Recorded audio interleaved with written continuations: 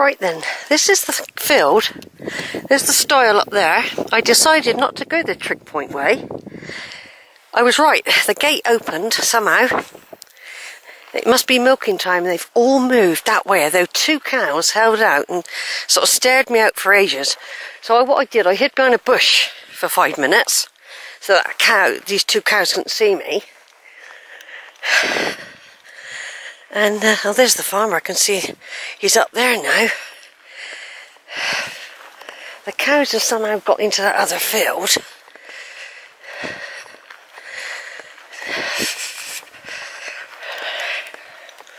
The farmer's up there on his jeep.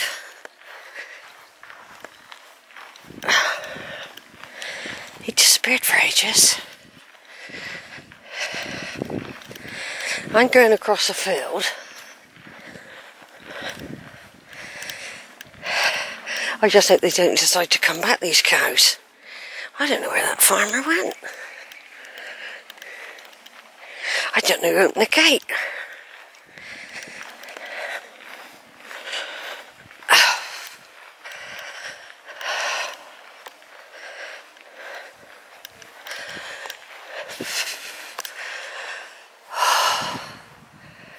yeah, that's it. Uh, those cows are gone that way anyway.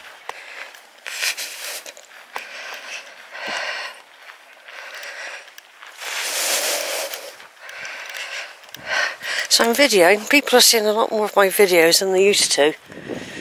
That's the farmer.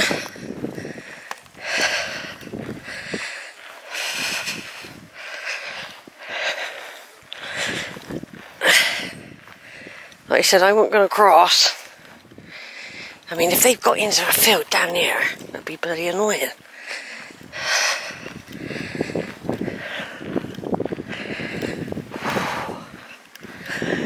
Yeah, so there's the farmer there. Look, I'm videoing.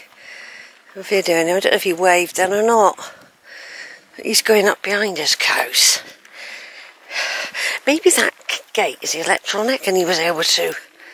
Because it was, it did look closed to me.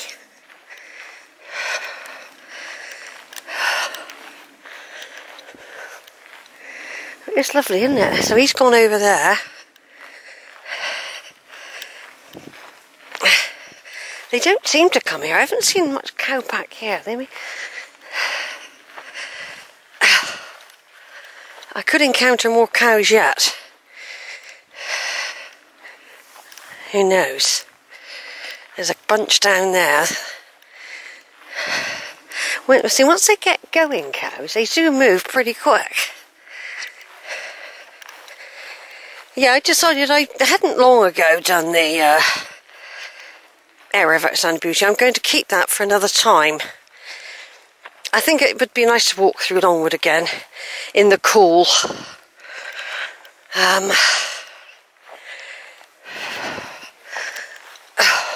it's April since I walked through the, the actual valley, the valley bit.